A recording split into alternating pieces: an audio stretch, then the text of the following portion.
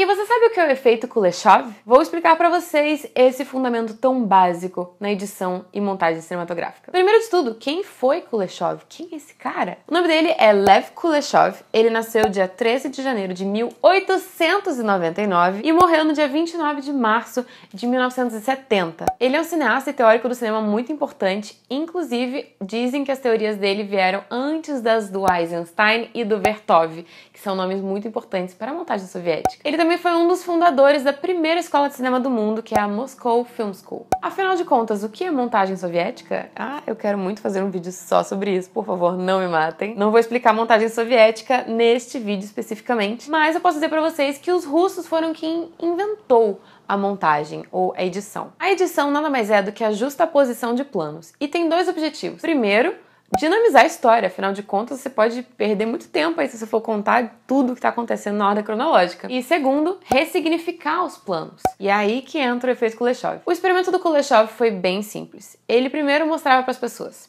prato de comida e depois a cena de um homem, depois um caixão com uma menina morta e a cena de um homem, depois uma mulher deitada num divã e uma cena de um homem olhando. Quando as pessoas olhavam essas três montagens diferentes, o homem com o prato de sopa, o homem com o caixão e o homem com a mulher, elas viam significados diferentes. Elas olhavam para o rosto daquele personagem e elas diziam que ele estava sentindo emoções diferentes. Primeiro era fome, no segundo era luto, no terceiro era desejo. Mas adivinha só? A cena do homem olhando era exatamente a mesma. Ele não chegou pro cara e falou assim: agora você vai ficar com cara de fome, agora você vai ficar com cara de luto. Não, ele simplesmente usou a mesma imagem, os mesmos fotogramas, o mesmo tempo, tudo exatamente igual. Ele fez cópias daquele negativo e montou. Só que as pessoas olhavam aquilo justaposto com outro plano, justaposto, Palavra gente chique, gente. Elas ressignificavam aquilo. Por algum motivo, elas viam a expressão de maneira diferente. E foi com essa observação que o Kuleshov fez que a montagem se baseia. Afinal de contas, essa é a grande diferença entre o cinema e o teatro. O cinema tem cortes. E foi baseado nesse experimento que o Kuleshov descobriu que o público traz as próprias emoções para dentro do filme. O filme não existe independente do público. Então, um dos exemplos da vida moderna é o seguinte: se você faz uma comédia, mas ninguém ri, será que ela é uma comédia? Ou se você faz um filme de drama e as pessoas riem, será que ela é uma comédia? Ou será que é um drama?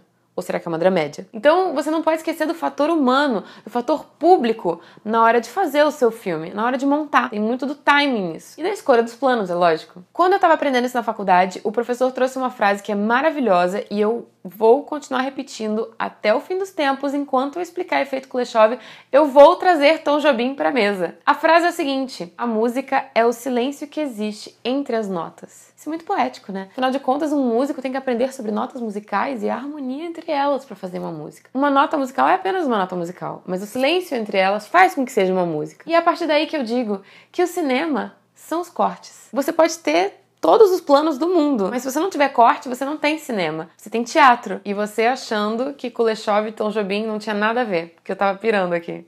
Enfim, esse é o efeito Kuleshov. Por que, que você precisa saber dele? Porque você precisa entender o mecanismo de interação entre público e obra na hora de fazer o seu próprio filme, na hora de analisar os filmes que você vai assistir. Porque o filme não é uma coisa independente do fator humano. E outro motivo muito importante é que você pode economizar tempo na filmagem. Se você tem sempre um plano específico de alguém olhando, você pode fazer planos pra sobrar mesmo. Especialmente porque a gente não precisa mais pagar negativo, pagar rolo de filme, essas coisas assim. Você pode fazer planos sobrando que vão te ajudar depois. É sempre bom você pensar na montagem. Um diretor muito bom entende de montagem, porque ele não vai, tipo, gravar umas paradas que depois não tem como montar na ilha de edição, né? Entenda o efeito Kuleshov e você vai ser um cineasta e um cinéfilo acima da média. Muito obrigada por terem assistido ao vídeo de hoje. Se vocês gostaram, deem aquele joinha e compartilhem. E eu quero saber aqui embaixo o que vocês acharam. Conheciam o efeito Kuleshov?